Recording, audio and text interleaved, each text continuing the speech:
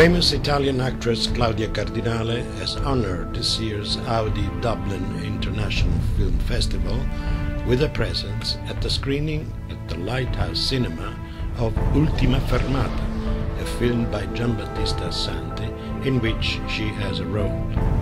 On the occasion, she received the prestigious Volta Award for her outstanding acting career. First of all, let me welcome you to Dublin. Welcome Thank you, thank you. What a wonderful film and what a wonderful performance as Rosa. Well, just, it's very funny because my third name is Rose. My name is Claude Josephine Rose. it's incredible. well, as I said before, I, I like this uh, film because of my father.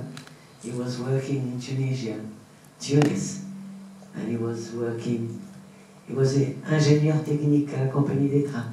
Okay.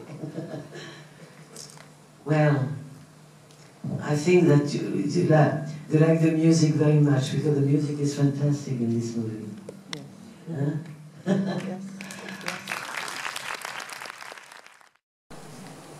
Eh, good evening, buonasera.